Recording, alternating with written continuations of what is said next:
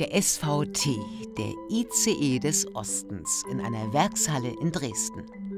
Immer wieder samstags, einmal im Monat, treffen sich Unterstützer, die in ihrer Freizeit den 160 km/h schnellen Vorzeigezug der Reichsbahn wieder zum Laufen bringen wollen. Begonnen haben diese zwei, die Eisenbahner Mario Lieb und Ingo Camossa aus Leipzig. Sie haben das Projekt 2019 gestartet. Zunächst wurden sie belächelt mit ihrem Plan, den mehr als 50 Jahre alten Zug wieder zum Leben zu erwecken. Ja, und das ist der letzte Betriebstag gewesen am 12.04.2003. Doch jetzt werden es immer mehr, die bei den Arbeitseinsätzen dabei sind. Eine wahre Gemeinde ist entstanden, rund um den Schnellverkehrstriebwagen, den SVT. Eisenbahner, die noch mit dem Zug gefahren sind, junge Menschen, die dem Mythos SVT nachspüren.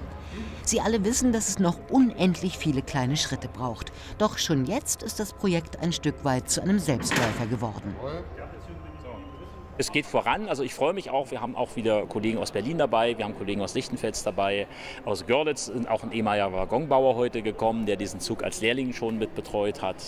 Äh, die Kollegen aus Leipzig sind da, auch viele auch von der Deutschen Bahn, die uns hier unterstützen, aber eben auch Privatunternehmen, die jetzt kommen. Jetzt hat es gerade geknallt hier hinten. Und äh, da freuen wir uns natürlich.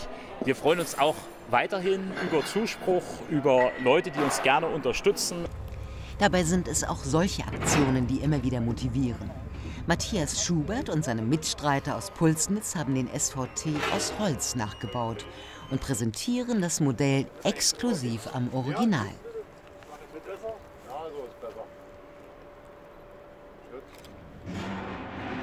Ingo Camossa hat seine Lebensgefährtin Jenny und Sohn Finios stets an seiner Seite, Samstag für Samstag.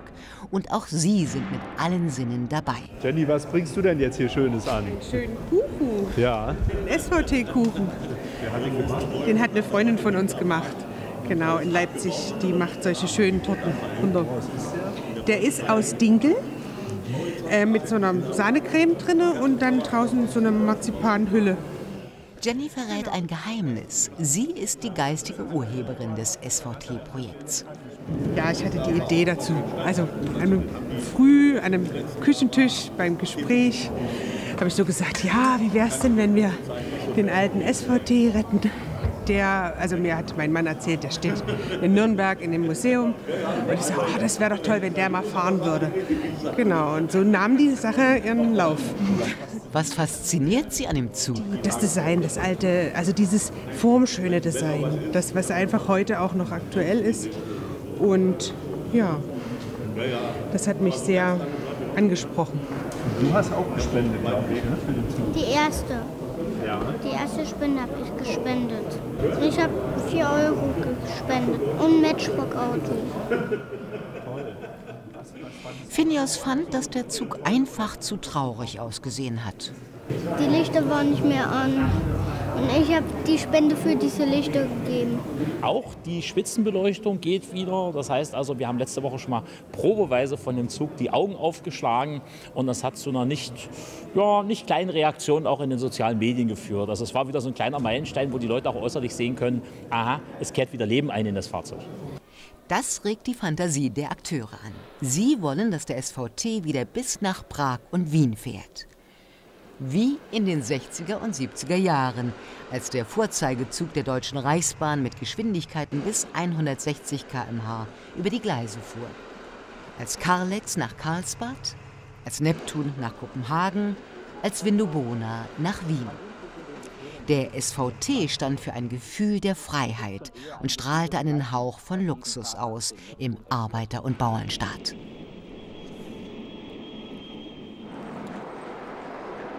Nach der Wende war der SVT als Sonderzug unterwegs, bevor er 2003 dann endgültig abgestellt wurde.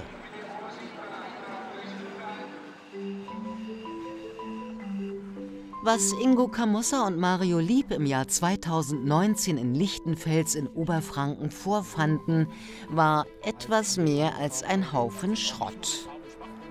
Sie beschließen den ersten Schritt, den Zug überführen und in einer Halle in Dresden trocken unterstellen. Startschuss März 2019.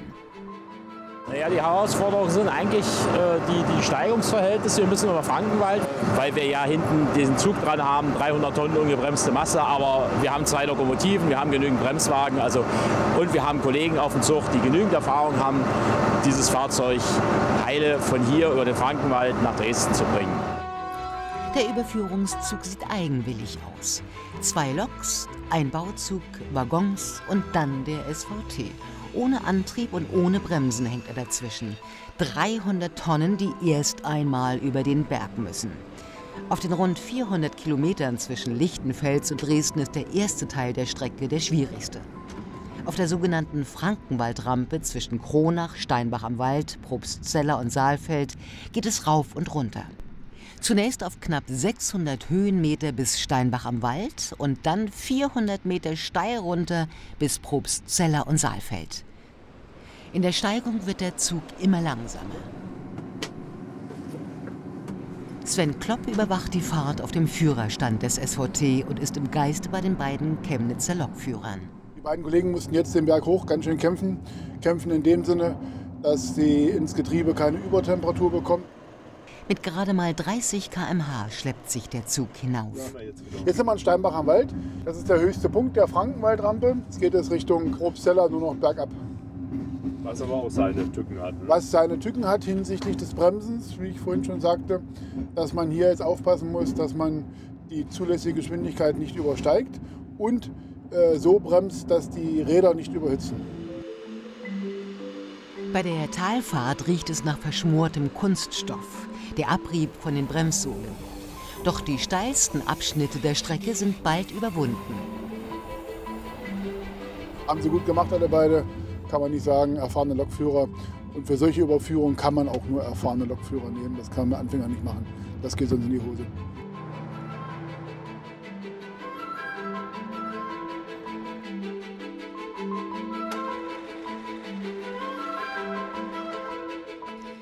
Mario Lieb wartet in Dresden auf den Zug.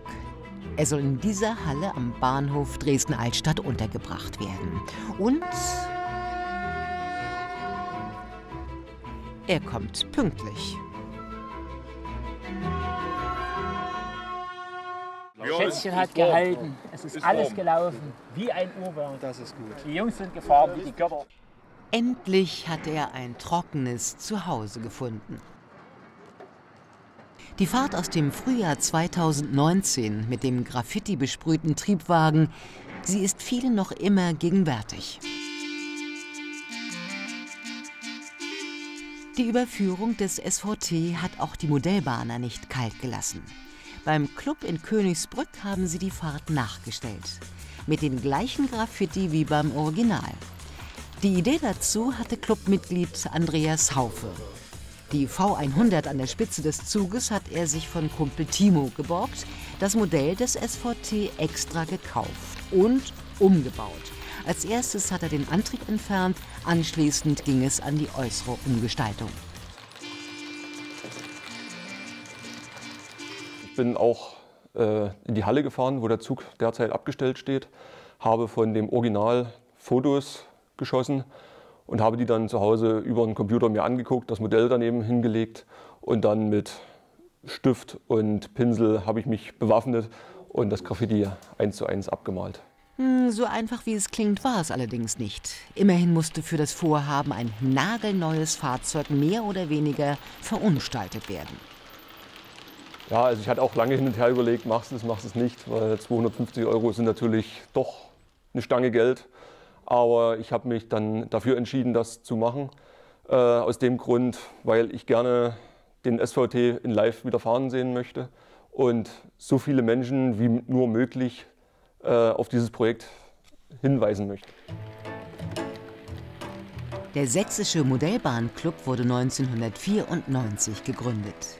Normalerweise sind auf seiner H0-Anlage andere Reichsbahnzüge unterwegs, durch eine Landschaft im Stil der 70er und 80er Jahre.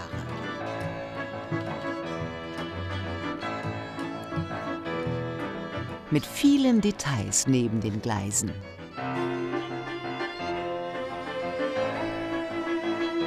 Doch zurzeit dreht sich fast alles um den Zug für Mitteldeutschland. Um das Projekt zu unterstützen, lassen die Königsbrücker ihren kleinen SVT auf Messen und Ausstellungen rollen. Die äh, Reaktionen waren überwiegend positiv. Einige haben zwar gesagt, ah, so ein teures Modell und es ist doch schade drum, aber gerade bei den SVT-Stand äh, auf den Messen, die Leute haben immer gesagt, Mensch, das sieht doch gut aus, das Modell. Ist zwar schade, dass er im Endeffekt so aussieht, aber man kann auch den Leuten am Modell zeigen, wie das Original jetzt aussieht, weil viele haben nicht die Vorstellung, was knapp 20 Jahre Abstellung so ausmacht an dem Zug. Fast alle Clubmitglieder sind beim großen Projekt dabei und legen in der Dresdner Halle regelmäßig Hand an den Zug. Sie glauben fest daran, dass der SVT wieder aus eigener Kraft rollen wird, wie hier im Modell. Wenn es soweit ist, würde Andreas Haufe den berühmten Triebwagen gern einmal selber steuern. Er ist gelernter Lokführer. Das wäre mein großer Traum. Also in mir steckt auch äh, Blut drin durch meinen Onkel. Der hat den früher mal gefahren und ist auch noch Lokführer bei der Bahn. Und dadurch ist auch der Ehrgeiz wieder in mir erweckt, den Zug selber zu fahren. Deshalb freut sich Andreas Haufe schon auf seinen nächsten Arbeitseinsatz, damit der Zug bald nicht mehr so aussieht, sondern endlich wieder so wie in seinen besten Tagen.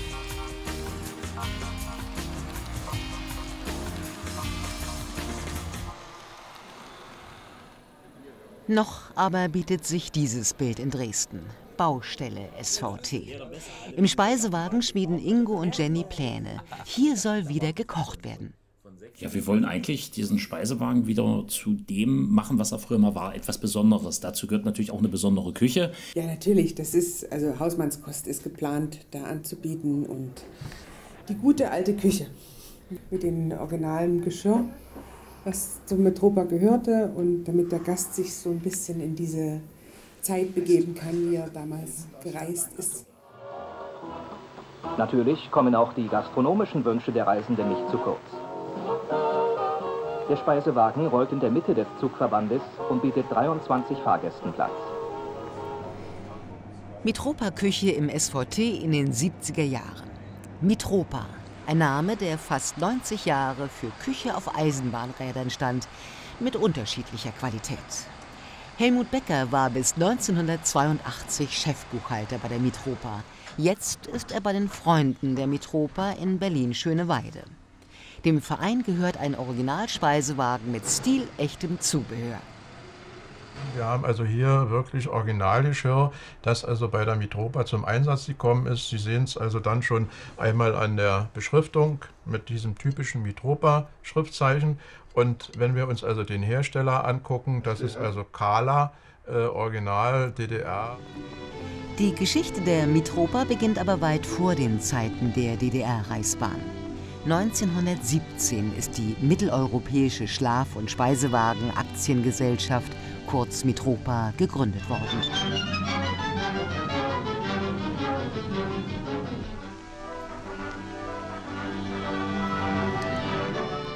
Schnell wächst das Unternehmen und hat in den 30er Jahren seine Blütezeit. 319 Speise- und 189 Schlafwagen gehörten 1935 zum Bestand der Mitropa. Sie wurden auch auf den internationalen Verbindungen eingesetzt. In Zügen wie dem Rheingold bot das Personal in den Pullman und Speisewagen Essen und Service auf höchstem Niveau, mit allem, was damals dazugehörte. Die behaglich ausgestatteten Mitropa Speise- und Schlafwagen gleichen einem gepflegten Hotel auf rollenden Rädern, das alle Bequemlichkeiten bietet.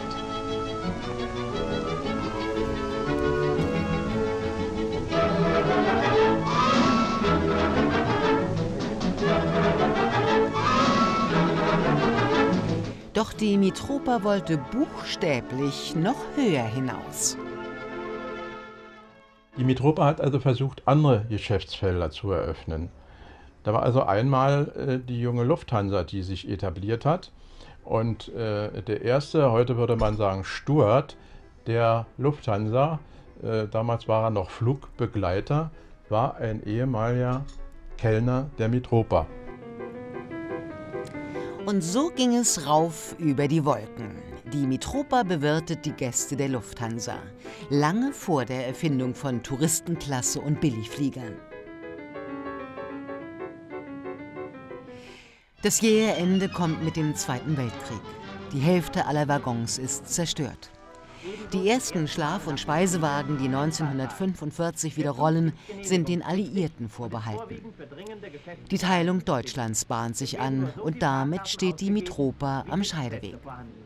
Auch dann mit der Gründung der ehemaligen DDR hat sich also dann auch die Mitropa im östlichen Teil Deutschlands als Mitropa etabliert und es ging also schrittweise dann wieder los. Der fliegende Hamburger ist wieder da. Nach jahrelanger Unterbrechung konnte er jetzt dank den Bemühungen der Reichsbahndirektion der Ostzone von Berlin zu seiner ersten Nachkriegsfahrt starten. Der dreiteilige Schnelltriebwagen ist modern eingerichtet und bietet seinen Passagieren alle Bequemlichkeiten, einschließlich Mitropa Speisewagen. Im Westen wird die DSG, die Deutsche Schlaf- und Speisewagengesellschaft, gegründet. Nach und nach werden wieder Speisewagen angeschafft, das Programm verbessert, der Service ausgebaut. Bis dann ein neuer Trend Einzug hält. Selbstbedienung heißt das Zauberwort. Der Speise wird zum Buffetwagen. Lunch im Quickpick, Musik untermalt, vermittelt neues DSG-Gefühl. Ingenieure und Designer schickten sich an, das rollende Restaurant mit Selbstbedienung zu konzipieren. Zunächst nur drei an der Zahl, um den Zuspruch der Reisenden zu testen. Ob warmes aus dem Mikrowellenherd oder kaltes aus der Klarsicht Cafeteriawand, man lädt's aufs Tablett und zahlt im Vorbeigehen. Guten Appetit! Den hatte nicht jeder. Die Speisewagenkultur hatte mit den Anfangsjahren der Mitropa nicht mehr viel gemeinsam. Auch als nach der Wende bis 2006 die Mitropa wieder in ganz Deutschland für die Speisen im Zug verantwortlich war. Bei der Reichsbahn waren es die Städte-Express-Züge, die noch einmal an alte Mitropa-Zeiten anknüpfen wollten. Sie fuhren bis in die 80er Jahre. Immerhin ein ansprechendes Ambiente. Immerhin frische Speisen.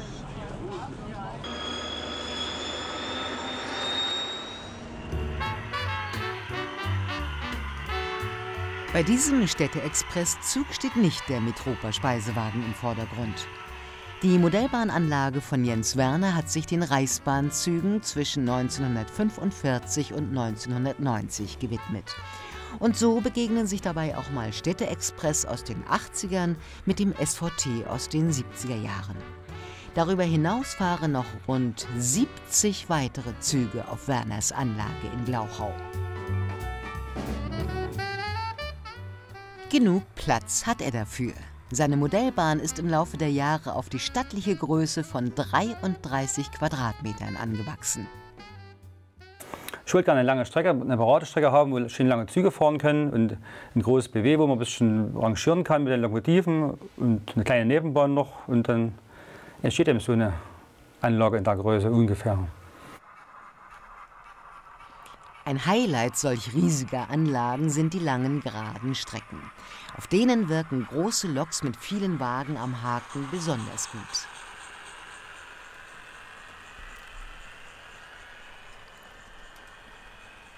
Gesteuert wird in Glauchau natürlich digital. Doch die Bahn ist so groß, dass die einzelnen Anlageteile nicht auf einem einzigen Bildschirm dargestellt werden können. Da auf der Anlage über, über 500 Meter Gleis verbaut sind, habe hab ich mich entschieden dafür, den Hauptbahnhof auf einem Bild, die Hauptstrecke auf einem Monitor darzustellen und die Nebenstrecke auf einem anderen Gleisbild. Mit dem, auch mit dem der Gleiswendel, wo die ganzen Lokomotiven stehen, die Züge für die Nebenbahn und einem weiteren Gleisbild für, die, für das BW. Und die ganzen Lokomotiven in Ring Ringlokschuppen stehen, die dann rausfahren ins BW und da geholt werden und dann für den Lokwechsel bereitstehen, um die, die Loks umzuspannen.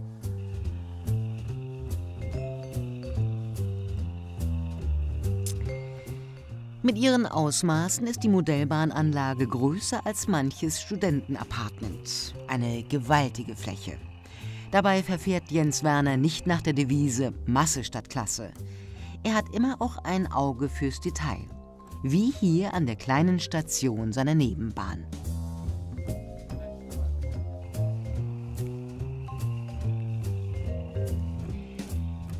70 verschiedene Züge rollen über mehr als 300 Weichen.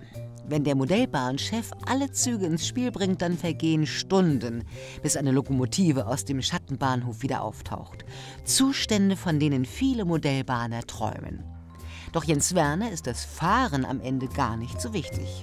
Das Programmieren macht mir mehr Spaß oder was austüfteln oder irgendwelche Sachen. Eben das Tüfteln, das ist spannend, finde ich. Wenn man da irgendwie wenn man was geschafft hat, was sagen wir, auch andere Leute noch nicht haben, was Neues man präsentieren kann, wo die anderen dann was staunen, was man doch alles machen kann. Und zum Staunen gibt es viel. Dass die Lokomotiven mit Sound auf den Gleisen unterwegs sind, versteht sich von selbst. So etwas ist bei Digitalbahnern heutzutage Standard. Aber Werner ist auf der Suche nach der perfekten Illusion einen Schritt weitergegangen. Wenn seine Güterzüge anhalten, dann machen die Wagen sogar ein Bremsgeräusch.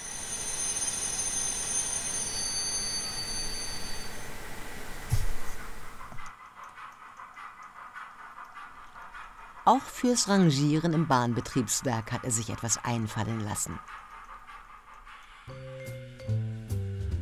Die eine Lok, die holt, die fährt aus dem BW los, holt den einen Wagen ab, bringt den ins BW, stellt den kurz ab und holt den einen anderen Wagen.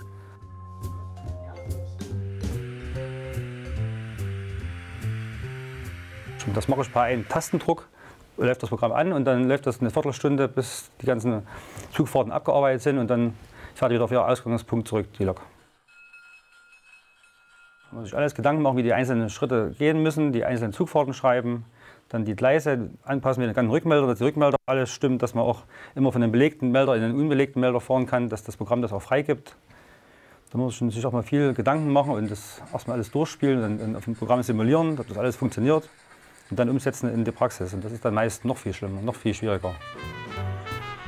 Doch aufgeben ist für ihn keine Option. Seit 20 Jahren baut er an der Anlage und bis jetzt hat er noch für jedes Problem eine Lösung gefunden. Die Bahn von Jens Werner ist ein wahr gewordener Modellbahntraum im Maßstab 1 zu 87 und sie bietet eine ideale Bühne für die Stars der DDR-Reichsbahn. Für den orange-beigefarbenen Städteexpress, für die 18201, eine der schnellsten Dampfloks der Welt, und natürlich für das Meisterstück aus Görlitz, den SVT. Hier ist Werner der Wirklichkeit etwas voraus. Sein Modell rollt aus eigener Kraft über die Schienen.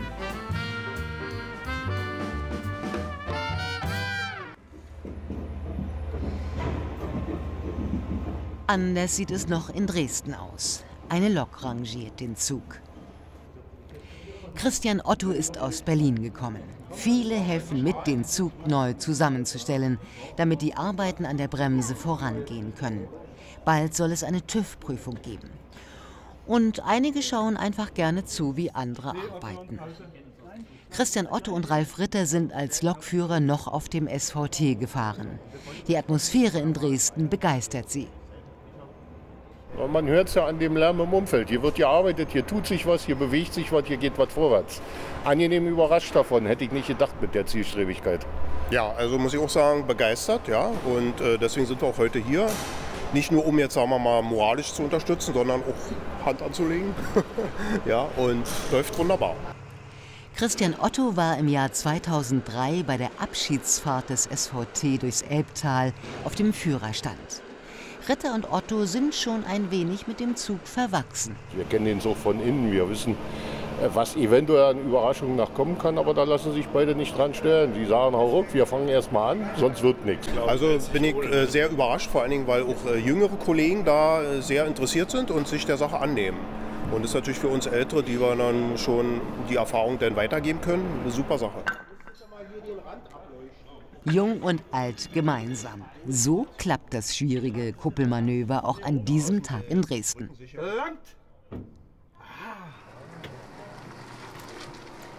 Mario Lieb ist derweil mit seinem Privatwagen nach Klostermansfeld in Sachsen-Anhalt gefahren, zur Bahnwerkstatt Malova. Im Kofferraum und im Anhänger hat er Kupplungen des SVT.